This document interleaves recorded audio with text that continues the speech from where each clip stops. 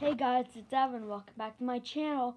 Today, I'm giving you good advice to tell you, is it really worth it to get the new Nintendo Switch OLED model?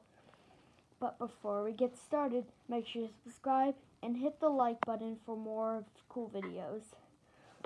Alright, this is the main one. If you don't have a Nintendo Switch, then get, then, if you don't have this Nintendo Switch right here, like this Nintendo Switch, the one that came out 2017, then if you don't have this, then get the new Nintendo Switch. But if you already have this, then you shouldn't get the new Nintendo Switch because there's just a couple more updates to this. Like, I'm just gonna show you. Like, they both have the same home menu. The only difference is the screen is going to be a bit bigger.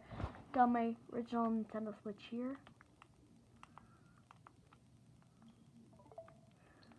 I don't know if you can see it.